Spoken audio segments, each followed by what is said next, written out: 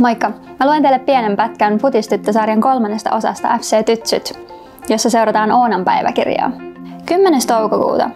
Aamulla oli äitien päivä, mutta meidän äiti tykkää nukkua pitkään. Keitin sille kuitenkin kahvia ja tein voileivän. Annoin lahjaksi sukat, joissa oli söpö kissan kuva. Ihan kuin meidän kissan Tinkerihannan naama. Äiti sanoi, että oli hyvä lahja. Iltapäivällä pakkasin kassiin nappikset, pallon ja vesipullon. Puin päälle pelisortsit ja pelipaidan. Vedin jalkaan säärisuojat, jotka lemusivat ihan hielle niin, että meinasin pyörtyä, ja kiskoin pelisukat säärisuojien päälle.